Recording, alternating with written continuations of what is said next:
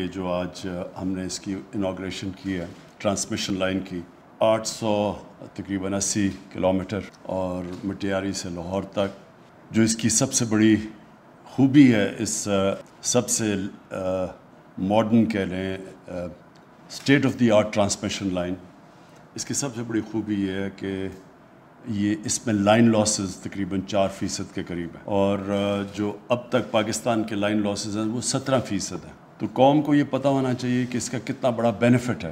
ایک فیصد جب لائن لاس ہوتا ہے تو ملک کو کئی ارب روپے کا نقصان ہوتا ہے۔ تو یہ جب جتنی لاسز بڑھتی جاتی ہیں تو اس کا نقصان عوام کو بھرنا پڑتا ہے مہنگی بجلی سے۔ تو یہ انشاءاللہ یہ ایسا پروجیکٹ ہے کہ اپنا بڑی جلدی جو اپنا کاسٹ ہے اس کا وہ پورا کر دے گا۔ تو یہ وہ پروجیکٹ ہے جس میں اب state of the art latest قسم کی ٹرانسمیشن لائنز اور آپ کو سامنے نظر آ گیا کہ کہاں سترہ فیصد لائن لاسز اور کہاں چار فیصد پہ آ گئی۔ تو انشاءاللہ یہ ہم اس کے اوپر بھی انویسٹ کر رہے ہیں، باقی بھی ٹرانسمیشن لائنز پہ۔ لیکن سی پیک کا شروع ہوا تھا سڑک اور پاور جنریشن سے، اب ٹرانسمیشن پہ پہنچ گیا۔ اور اب جو اگلا ہمارا راستہ ہے، وہ ہے انڈسٹری کا۔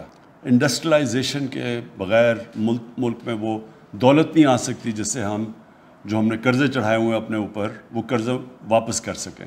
وہ جب تک ویلتھ کریشن ہوگی، دولت میں اضافہ ہوگا ہی تو ہم قرضے واپس کریں گے۔ پھر ایگریکلچر جو دوسری چیز ہے، جس کے اوپر زور دیا جا رہا ہے، اس میں نئی ٹیکنالوجیز لا کے اس سے اپنی انشاءاللہ دولت میں اضافہ کریں گے اور اس سے پھر ہم اپنے قرضوں کا جو بوجھ ہے وہ نیچا کریں گے۔